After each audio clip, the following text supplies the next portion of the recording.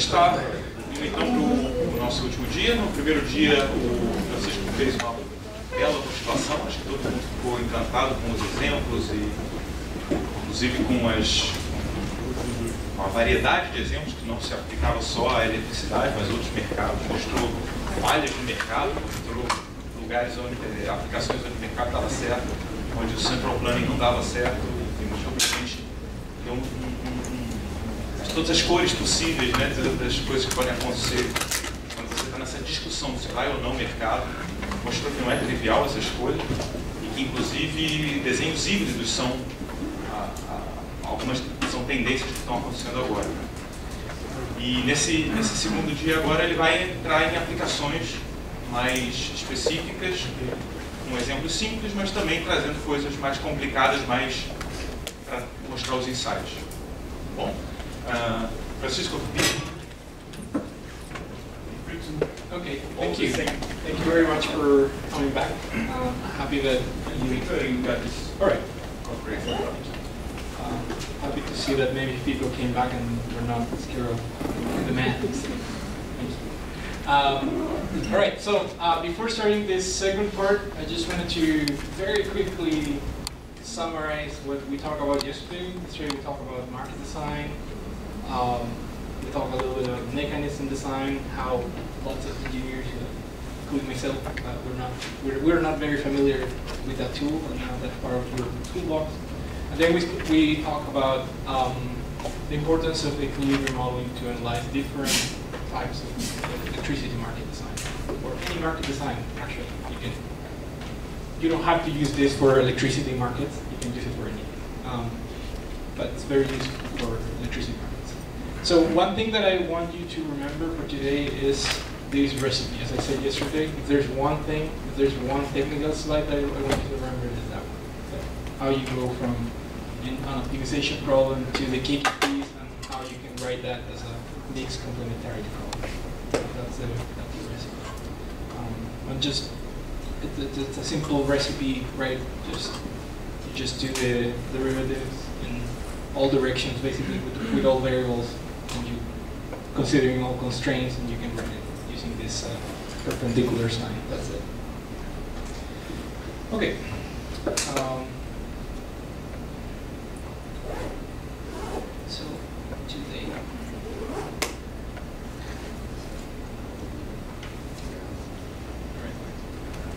So today um, I want to address three different things, three, three features of markets that I think are important.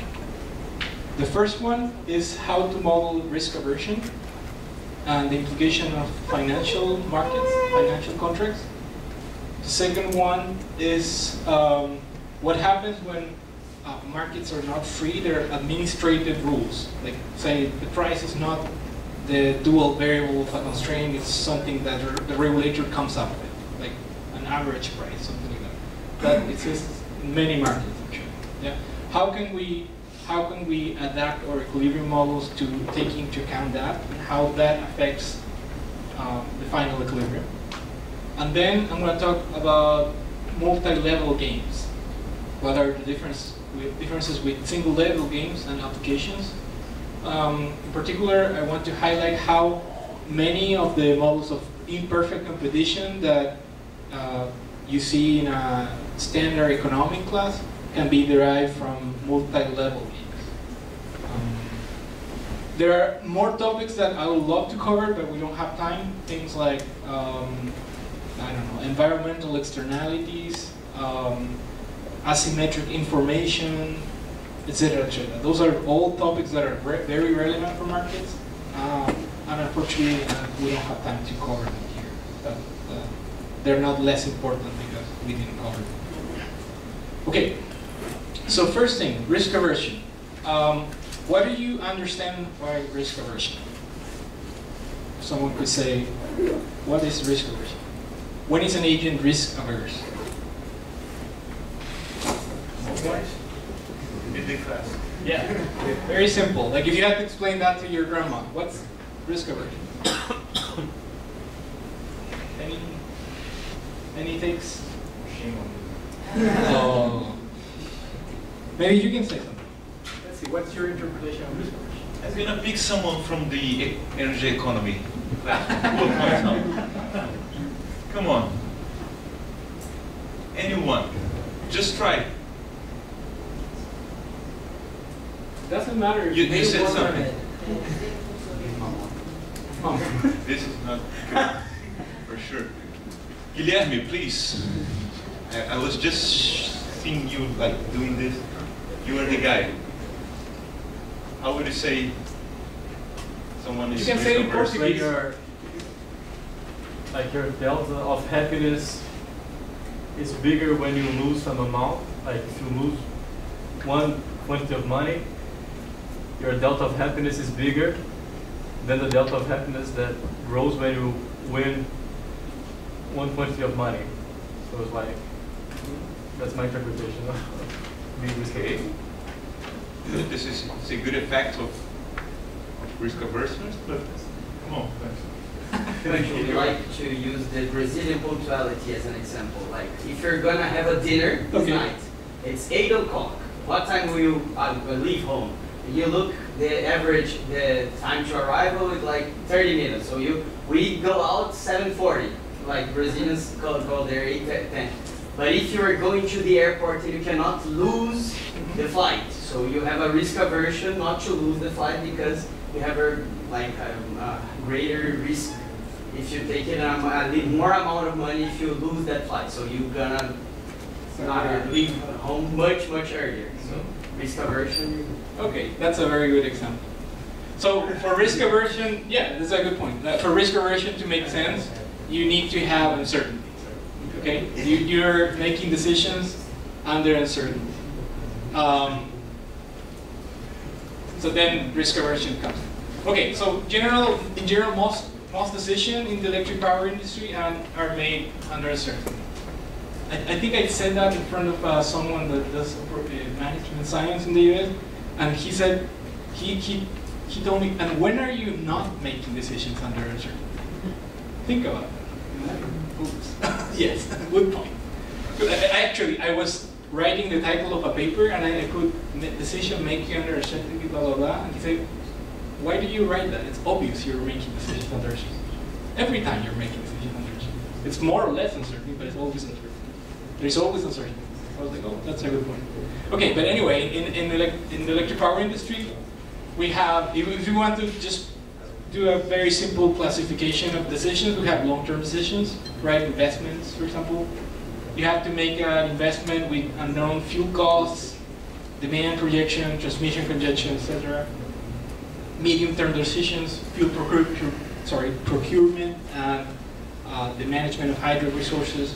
Uh, short-term decisions, that's like day-to-day, hourly decisions, uh, scheduling conventional generation, batteries, and their uncertain availability of wind, solar, whatever. So um, I know there are very good programmers here, and there are lots of super advanced tools to make decisions under uncertainty. You can use stochastic programming or robust optimization or whatever it's your favorite tool, right? Try to make a good choice under uncertainty. But the problem is that there is empirical evidence that practice, uh, agents are risk averse. They don't just care about the expected outcome, they, they care about something else. Um, and it turns out that um, risk aversion is actually a very hard concept to grasp. And there are many ways to measure risk aversion, and I think that has a lot to do with the fact that economists really don't, are not really sure how, what we think about risk aversion here. Like we say, oh, risk aversion is like you make decisions using this utility function, or a CVaR, or you look at the worst case scenario. Sure, that's more like mathematics, but how, if, if, if you go to a meeting of stakeholders and look at how they make decisions, it's very likely that you're not going to be able to forecast what, what the choice they're going to make under, given that they have multiple choices. Okay? So that's why there's no one way to say what is risk aversion, because we actually, we don't really know exactly what it is. Just, we just know that you don't look for, for the expected outcome. But one definition that I like is that um, an agent is, is risk averse if that agent is willing to accept a, a more certain option with low returns than other alternatives that are more uncertain but with higher returns. And what's uh, the evidence that risk aversion exists? That there, there are insurance markets. If people were risk neutral, neutral, no one will buy insurance for anything. Think, think a little bit about that. When someone told me that, I was, because someone cited um, at, a conference empirical evidence that this exists, and I went to ask him, "Hey, can you give me the paper? I, want, I really want to read who studied that." He was like, "No, I don't need. You don't need to read any paper. Insurance companies exist. Period. That's your proof." and I was like, "Oh wow, yeah, that's a good." one." A, a, a nice way to say this is that once you have a, an expectation, the true expectation that you have in your mind that how much you're gonna win on average or something like this, and you open and you give some money to avoid some bad outcomes rather than this expected one, you, you decrease and you have a certainty to them that's lower than the expected. Exactly. Yeah, that's that's more more general Yeah, way. exactly. That's the definition I, I, I got from a decision analysis. I really like it. Unfortunately, we don't have time to do all the definitions here, so I just wave my hands and include me. That's, that's it. okay. Um, so there are many ways to think about risk aversion. Uh, when I took a decision analysis course when I was doing my grad, uh, PhD, um, I was taught that risk aversion could be modeled using utility functions, like uh, agents have some utility function here. Uh, that's how we how we measure gains basically, and and you can model risk aversion using concave utility functions. And one way to see uh, um, risk aversion here, one, there are many ways to explain it, but I think one easy way to look at it is that uh, if, if you're rich, if you have a lot of money and someone offers you a little bit more, um, you're a little bit happy, happier. Um, but if you're poor and someone offers you the same delta extra money, you're much happier, basically. So if you're poor and I give you ten dollars, you're happier than if you're rich and I give you ten dollars. Kind of like that. But there are many other ways to look, look for it. Um, that's basically one way to model risk aversion. Utility function. That, that's, that's a favorite approach for economists. If you take an economics class or take a decision analysis course, they're going to talk about risk aversion. That's risk aversion. They're going to say this is. Um, people that work in finance or in engineer in engineering schools think about risk, uh, use risk measures. Um, so there are different things like the value at risk, conditional value at risk. Uh, there's the good deal measure. There are entropic measures, and you can just make a long list. There are many ways to uh, model risk. And, and, and they're kind of like illustrated here. This is, say, these are the, the potential distribution of outcomes. Um, these are losses. So you want you, you don't you don't want to be exposed to the right tail to the scenarios of high losses. Uh, right, the VaR is a point here. The CVaR is like an average, right over a tail. Um, that's the maximum consequence, the worst case scenario, etc. You can. There are many ways to find risk. Okay. Uh, I'm not, not going to talk much about that. Uh, the nice thing though about the conditional value at risk is it has very nice uh, properties. Um, you can you can uh, model using just linear programming, and that, that makes it very very useful. Um, but I insist, it doesn't mean that decision makers actually think of risk aversion using CVaR. It's just very attractive for us to model. That doesn't mean that they think that way. Just keep that in mind. there are people that I, I know that are working on thinking what is the what is the risk measure or the utility function that actually matches what that agent thinks of risk. Okay, so I'm gonna just give you an example here, a risk choice. Um, this is an extremely simple. Um, you, you have a firm that can procure Q units of a perishable product. You can think of like a, uh, like a battery that's gonna buy power from the market. And there are just two periods, so that battery buys power and then it's gonna sell and the world ends right there. Or you can think of like a, know, like a grocery store that's gonna buy, I don't know, some avocados and then the store is just gonna sell it at, at some price and then the avocados are gonna go around back, basically. And that's it, that the world ends right there. So um, the product costs Q squared the first stage and in the second stage. There are two possible scenarios of prices with probabilities 0.6 and 0.4. We have a scenario of high prices, a scenario of low prices. I made this function quadratic, so um, it's very easy to find what's, uh, what's, what's the optimal procurement. Um, so optimal decisions under perfect information. If you know that scenario uno, scenario one is going to occur, uh, your optimal purchase is 80. If you know that scenario two is going to occur for sure, your optimal purchase is five. Okay, um, you get different profits depending on what scenario occurs, right? If you're risk neutral, if you're risk neutral, then you care about the expected outcome. Okay, you maximize your expected utility. And if uh, if we solve that problem, we find that surprise, your optimal procurement is something in between these two values. It's not 80, it's not 5, something like in the middle, 50. Okay? Your expected profits are 2,500. Um, it turns out that if scenario 1 occurs, your profits are 5,500. So it's still quite profitable.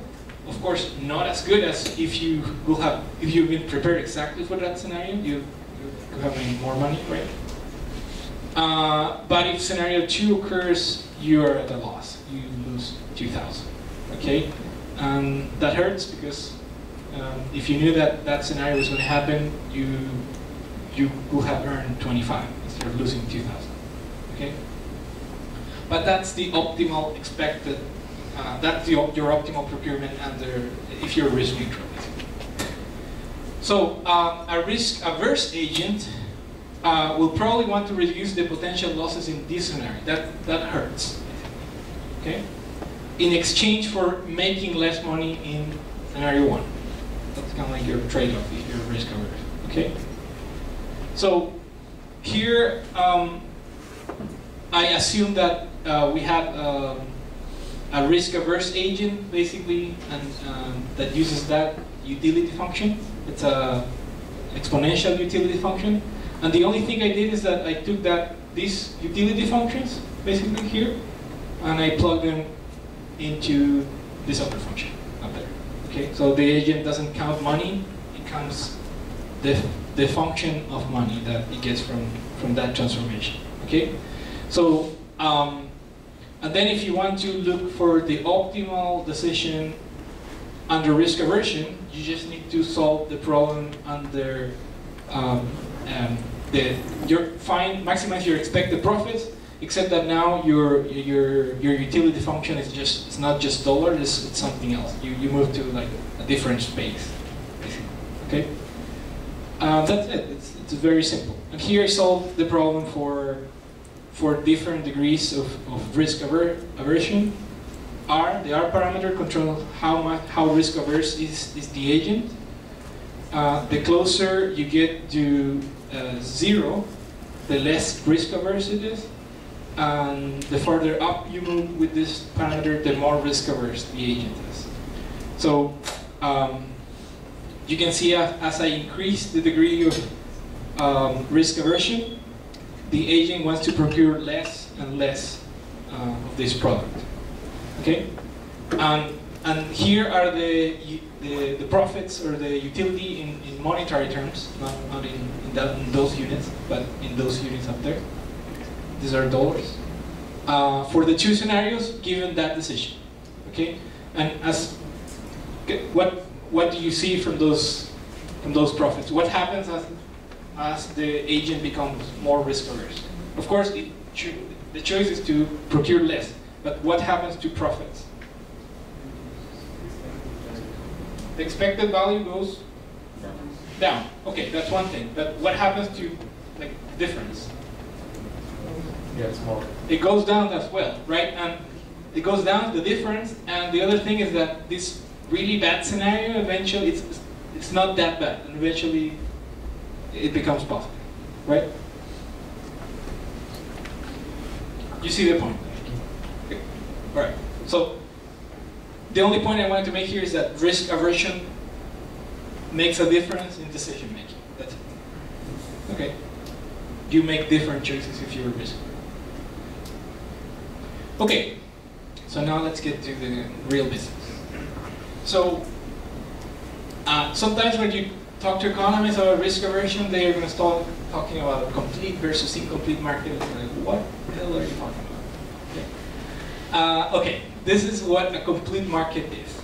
Um, in a complete market, it turns out that there are insurance products available for every possible scenario. In a complete market, uh, one, one way to see it is that there are these artificial insurance product that these two researchers, these two economists came up with. They are called the Arrow-Debreu securities. An Arrow-Debreu security, that's maybe like a complicated definition, is nothing more than an insurance product that an insurance company maybe sells to you that says, if this scenario happens, I'm going to pay you one dollar for every unit of that insurance product you have. So you buy those insurance products like in the first stage, like before you know what's going to happen, and then if that scenario occurs, then the insurance company pays you one. If you bought one. If you bought 10, it will pay you 10. Okay? That, that's how it works. But if any of the other scenarios occurred, it pays you zero. Okay? So one way to think about it, it is like suddenly an insurance company uh, made available products so you can adjust your portfolio for any possible outcome before you know what's going to happen. Okay, imagine like a decision tree with uncertainty like this. You would love to have full recourse to, so that anything can happen. If anything happens in the second stage, you can like tweak your decision and you know be better. And Arrow, the, this insurance product, help you with that. They, they, they, they uh, make available decisions in the first stage. Basically. So it's great. The only problem is that they're not free. Okay, you have to buy them. Okay, it could be very expensive, but they are available. That's the thing. They are available. It could be very expensive for you to insure against one catastrophic scenario, but at least they are available. Okay, so we say that a complete market, a market is complete if there are Arrow-Debreu securities for all possible scenarios. That's, that's the best way to say it. Basically, you can, another way to say is, you can hedge against any possible outcome, all possible scenarios. So you want to, you want to buy insurance against, I don't know, the possibility that, uh, I don't know, that an asteroid hits Earth, that insurance product is available. There's a company that sells that. Okay? And any crazy thing like that, that those, those products uh, exist. So that's obviously uh, an academic definition. That doesn't really exist in practice. Okay? So why is this important? Uh, that's important because um, if I remember, if, if you remember, um, yesterday I talked about the two welfare theorems, how um, if the market is perfect, com uh, perfectly competitive, etc., etc., central planning implies markets, and markets imply central planning. Basically, everything is super efficient. That breaks down as soon as you add uncertainty and risk aversion. That's no longer true. Okay? If you throw uncertainty into the models, those results don't apply anymore. However, uh, Kenneth Arrow and Debreu proved that if you are in a context where there is uncertainty and agents are risk averse, if Arrow-Debreu securities exist, meaning that if the market is complete, then you get back the result that says, uh, okay, the market's going to be efficient. But you need all those insurance products to exist somehow. Okay, it was like a mathematical. Hmm? Can you uh, the uh, definition of efficient? Efficient? Yeah. You achieve a Pareto efficient outcome.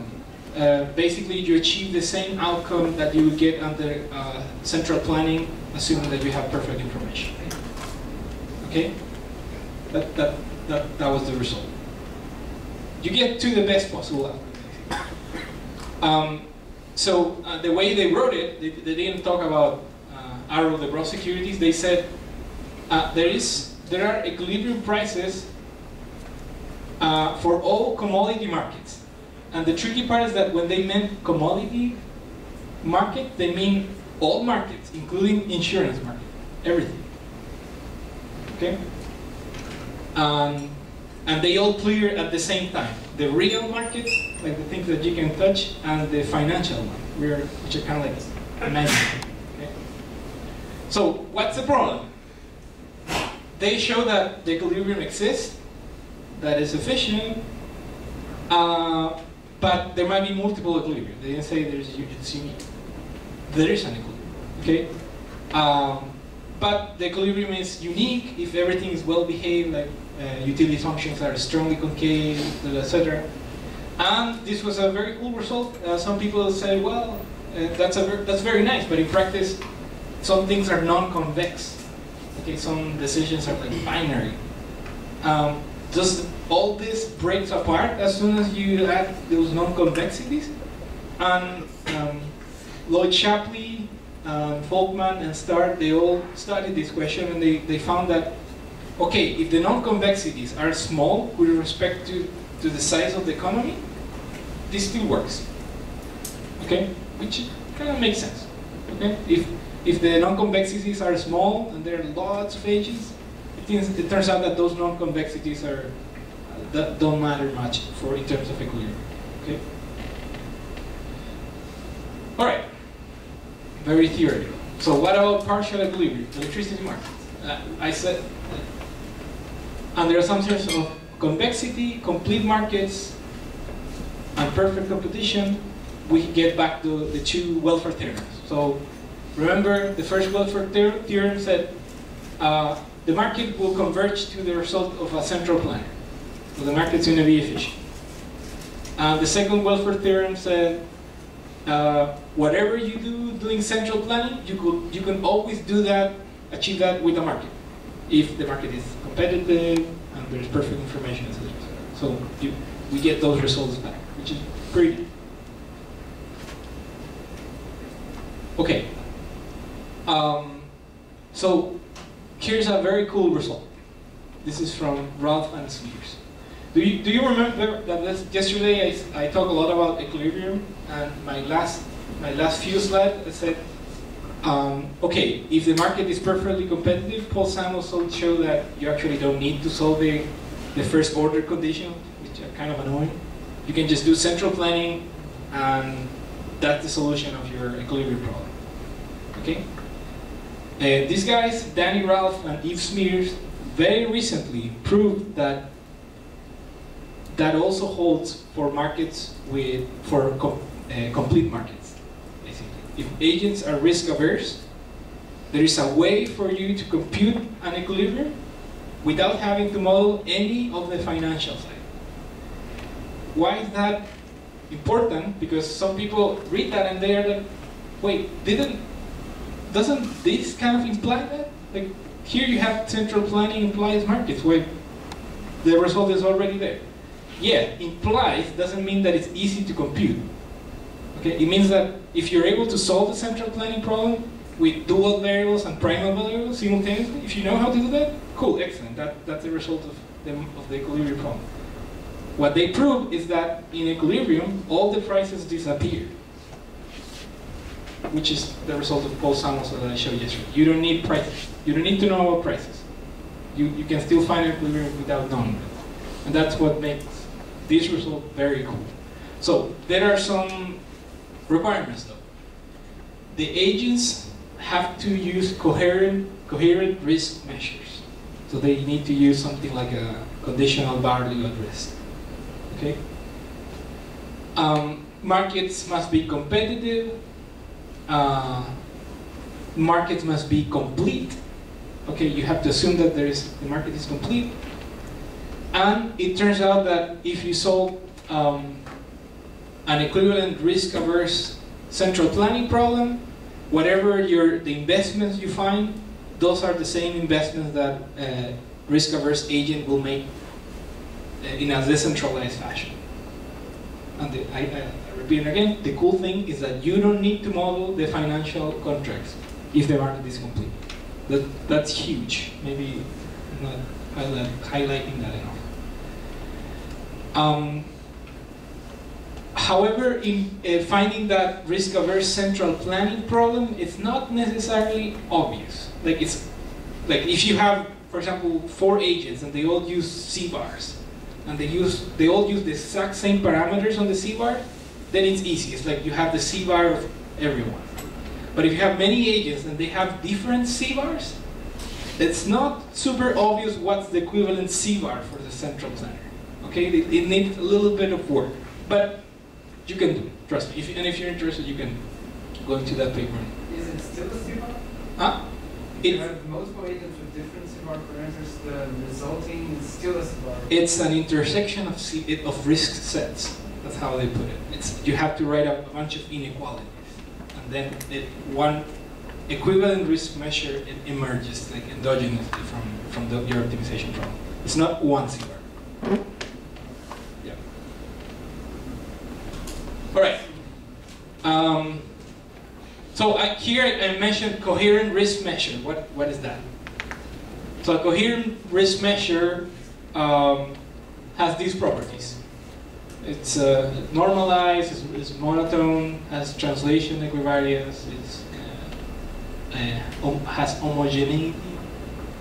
Um, I'm not going to go into that, but some example, the best example of that is the, CVaR. If you have a CVaR, you're good. You can use them all. So, for example, the, the um, a utility, the, an, exponential utility function, that wouldn't work here, because if you if you create an uh, an equivalent risk measure using uh, an exponential utility function, that wouldn't be coherent. So you could not use this result. In that in that world, you have to actually compute the equilibrium modeling every single insurance product, which is hard. Okay, doesn't mean that you can't compute it. It's just that you're not able to use optimization. You have to solve an actual equilibrium problem, which in general, it's hard. Okay? Okay, application. So for example, we, uh, we look at the, at the Western um, Electricity Coordinating Council in the US. It's a, this big network that goes from like, if, if you split the US like in the middle, it, you look west, that, that's the Western interconnection basically. Um, so we have many options for transmission investments, generation investments. Uh, we capture solar wind profiles for all the different sites. Um, turns out that there are many spots where, for example, there's very good wind, but there but but there's no transmission network nearby. So if you want to use those resources, you have to build a new line, things like that. Um, we had we had done the optimal planning for this model before, and our question now was that, well, what happens if uh, if the agents are risk averse? How how would investment decisions change?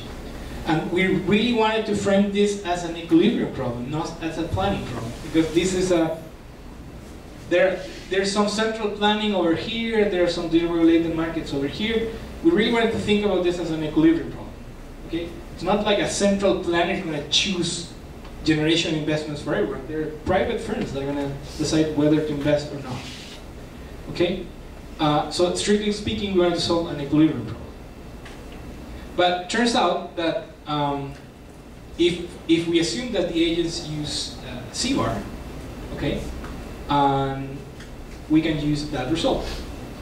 Okay, and if you if you assume that you can use that result, and that means oh by the way, you can use central planning, and the result of a risk-averse central planner is the same result that you get from a risk-averse equilibrium, if the market is complete. Obviously, we made that assumption. We wanted to use the result. uh, so we say, okay, let's assume that uh, markets are complete and there's perfect competition. Voila, we have um, central planning. So we use the weighted CVaR, expected value, plus the CVaR. We have just standard constraints here. Um, for example, here are some of the insights we got. So, for example, these are investments um, changes in investment in, in megawatt per technology. Um, and as we increase this parameter omega, uh, the planner is more risk averse. And what we found is that, uh, I say the planner, strictly speaking, is firms, right? If firms are more and more risk averse and the market is complete, they will try to stay away from combustion turbines. Here we didn't allow for investments in coal. It's really hard to build new coal power plants. And they will invest more in, for example, like uh, gas turbines, uh, CCGTs, and more wind. That's the best way to hedge against the worst scenarios. By the way, here uncertainty was uh, mostly regulatory. So like in one scenario, you had a very high carbon tax. In another scenario, a medium carbon tax. In another, there was no carbon tax. Uh, we combine that with scenario for uh, renewable portfolio standards. In one scenario, California went crazy about uh, their requirements on renewables, 100% renewables. Another scenario, 50. Another scenario, there, was, there were no requirement on renewables. So you can see here that the, the costly scenarios were actually those when uh, regulation were asking for lots of renewables. But it kind of makes sense that as the agents uh, become more and more risk averse, they sort of look at more at those scenarios, those extreme scenarios, right? When the carbon tax is really high, or when California says we want 100% renewables, which is kind of like what they're doing now. Um, that's one application. Okay, so one question that comes from this is, all right, cool, we can use uh, that, that result, that equivalency result. Nice, we have set of investments from the central planner and we know that that's what agents are gonna do if the market is complete, if the, mar if, uh, the market is perfectly competitive. Others to invest and then spot market. Yes. Our question was, okay, but we're not computing, um, we're not seeing any of the financial side here. So there's some financial layer on top of this that we are not modeling because we don't want to model it actually, thanks to this theorem. But the question was, are those, okay, we have, we have one solution for the central planner, but there are missing variables up here that we're not computing. Is the solution in this uh, financial layer unique once you fix the physical decisions? And unfortunately, the answer is no. Okay, the answer is no. Um, say agents are endowed with uh, coherent risk measures, and you apply the result from Ralph-Smeers, the, the theorem. So you you find the optimal investments and everything, and then you go and look and try to restore the financial side. You say, okay, I have this. Let's see how they're going to trade securities, the Arrow-Debreu securities. And it turns out that, for example, here they came up with a very simple example where uh, there was a unique answer in terms of investment, but there were three possible allocations of tr possible trades of risk between firms. And they are all equilibrium. So that's a little bit annoying, okay? Um, when we model, we like to have one equilibrium, right? Un uniqueness, and they found that it wasn't unique. Uh, this is a bit, what I'm showing you here is like state-of-the-art stuff. This is not old thing. This is like from this year, 2018.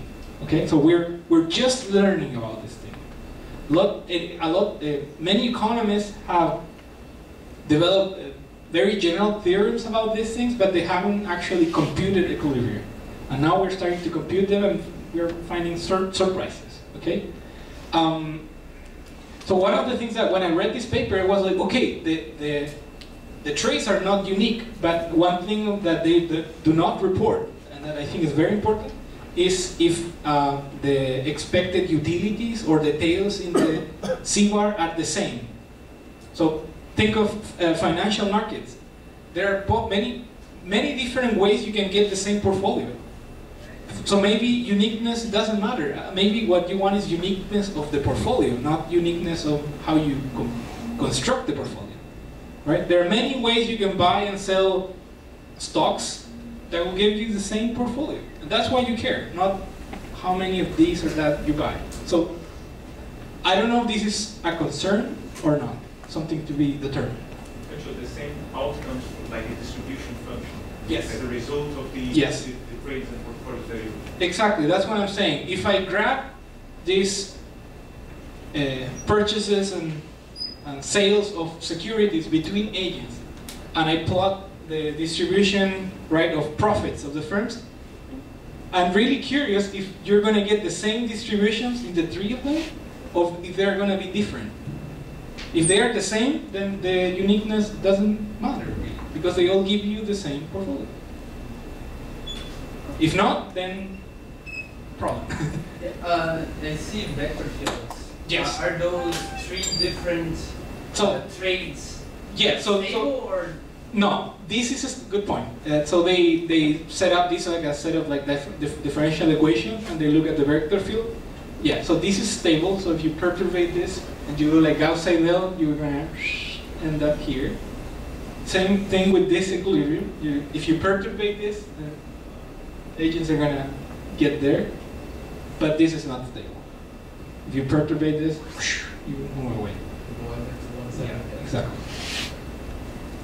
So, yes. So I'm actually working a little bit on this because I want to learn more. There are many questions when you read the paper, you're like, wow, cool, but I have more questions now than I had before I read.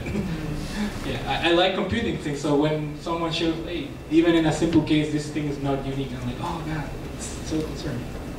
Anyway, life is hard, right? Um, okay, so uh, in practice, the problem is that, that, that those were complete markets, ideal, theoretical ones. Arrow-Debreu securities, you can buy insurance for everything.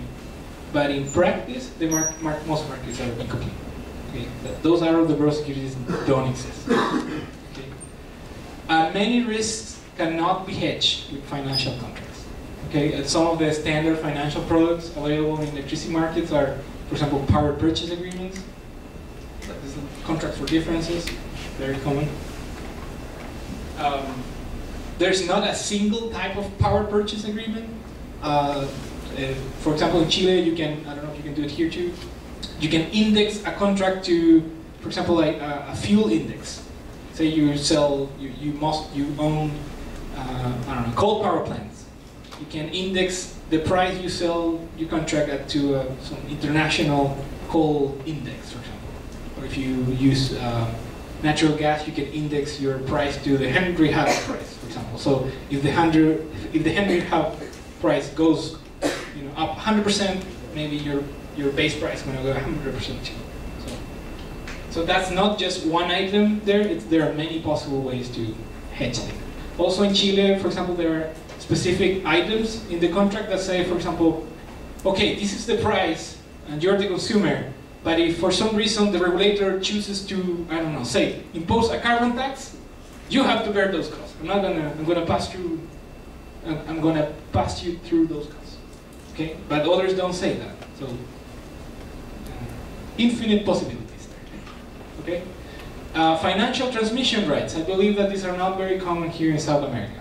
They're common in the US. If you have a nodal, uh, nodal pricing, when there is congestion, prices right uh, decouple. Uh, that could be very risky for, for producers because maybe you're behind a constraint.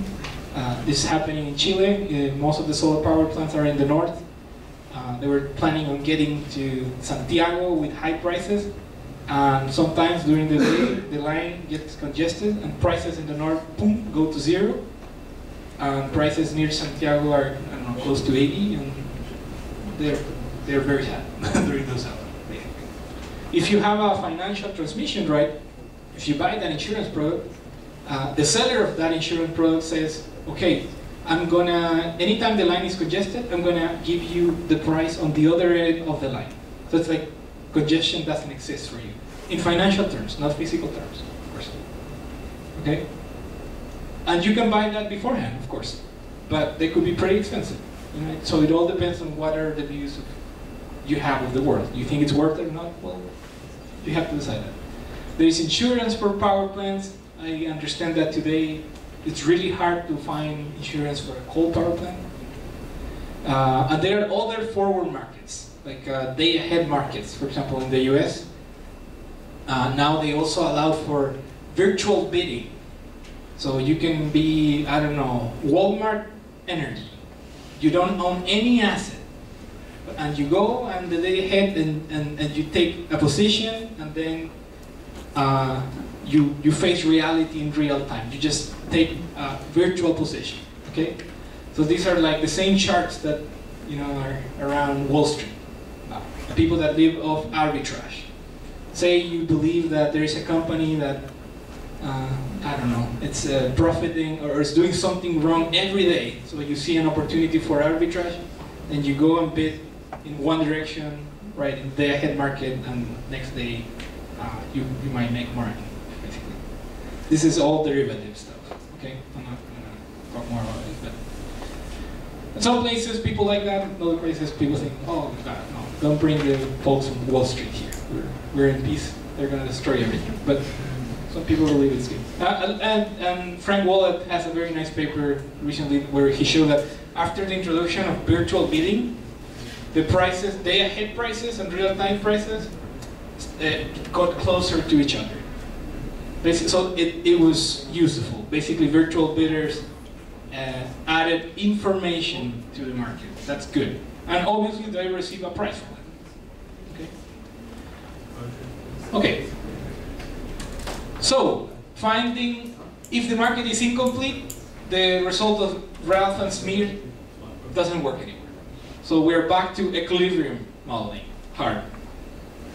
Uh, so if if the market is incomplete, you have to solve the problem with risk averse agents explicitly, considering all insurance products available. Super hard.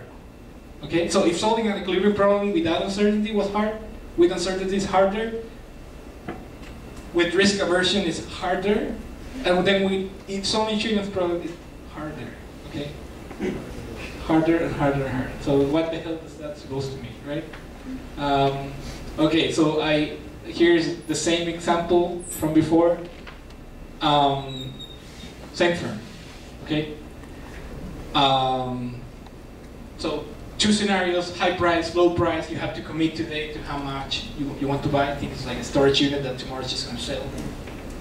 And the prices are already predetermined. Like one high price scenario, low price scenario, and depending on that, you want to charge today more or less.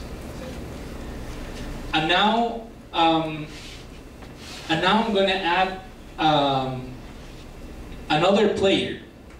I'm going to say that now there is a copper mine that wants to buy power from me okay?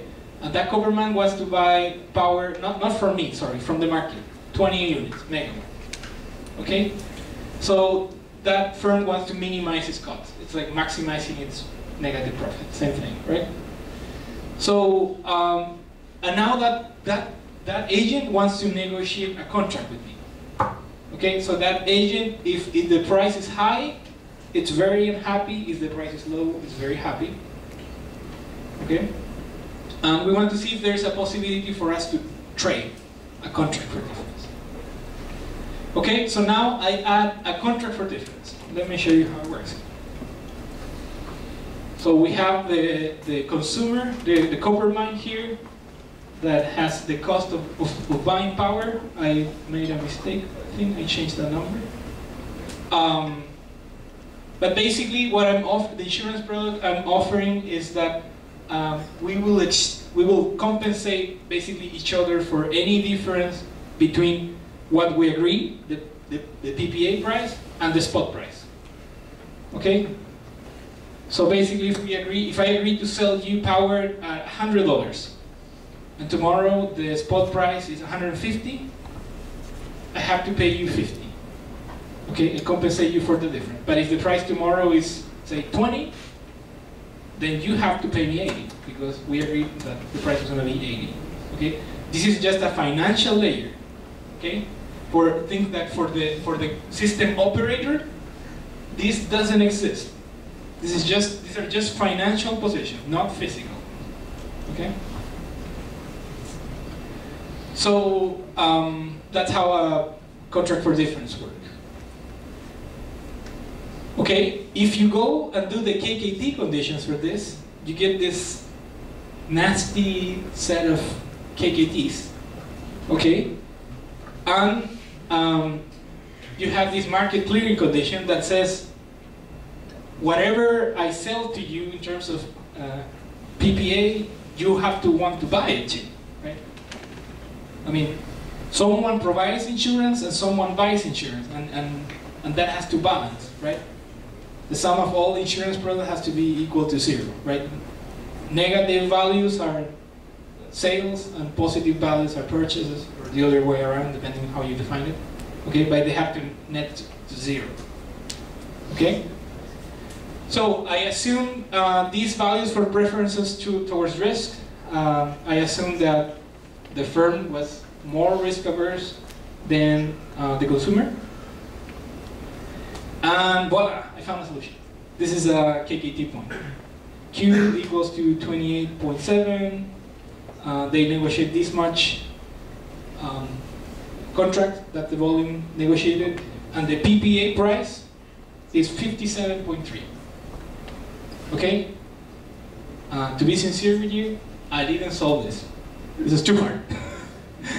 what I did is I used kind of like a Gauss-Seidel method where I started like trying prices and eventually I found prices that balance everything and I stop. And that those match the KKT condition. Okay? I just wrote this so you can see that this gets pretty ugly very quickly. Okay? So if you if you don't have the Ralph and Smeers result, you're in this world. Hard. Okay? So uh, let's make a comparison. This was the this is the uh, quantity that the firm wants to produce or commit in the first stage if there is no contract for difference.